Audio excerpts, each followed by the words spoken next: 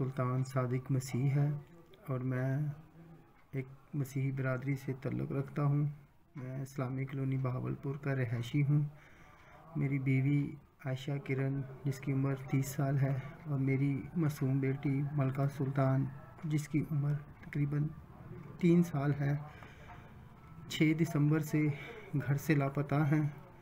जब मैंने तलाश शुरू की तो मुझे पता चला कि मेरी बीवी और मेरी बेटी को मोहम्मद इब्रार कांस्टेबल ने अगवा कर लिया है।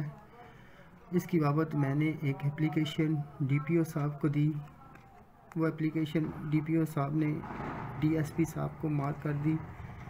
जब मैं अगले दिन डीएसपी साहब के पास गया तो डीएसपी साहब ने मुझे बतलाया मुझे कहा, मुझे बिठाया और जब मुझे उधर अबरान नामी शख्स ने कहा और मुझे बताया गया कि आपकी बीवी ने मोहम्मद इब्रार कांस्टेबल के साथ नकाह कर लिया है और उसने कबूलियत इस्लाम का सर्टिफिकेट और नकाह नामा मुझे दे दिया।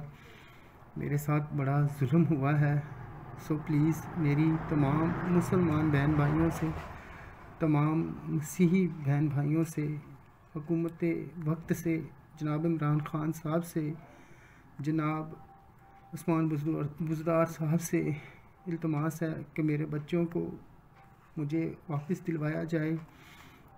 मैंने अपने बच्चों को नहीं देखा। प्लीज़ मेरी मदद करें।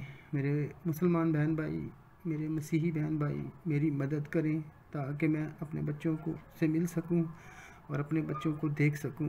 सो प्लीज़ मेरी मदद करें। आपकी बड़ी मेहरबानी होगी।